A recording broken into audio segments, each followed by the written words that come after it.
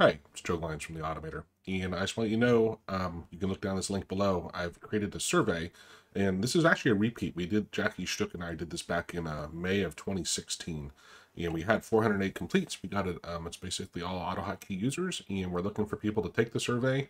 Um, we collect mostly just information about how you're using AutoHotkey, what your preferences are. Uh, and then later we'll share the results with everybody in a webinar and record it. Or and if you like, we just uh, put your email address at the end of the study, and I'll email you a copy of the report.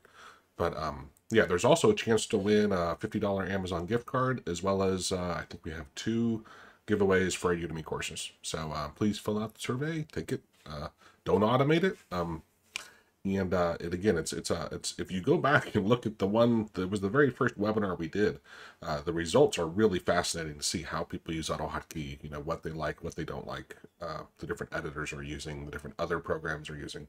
So it is really helpful um, for everybody. So please complete the survey. Thank you. Have a great day.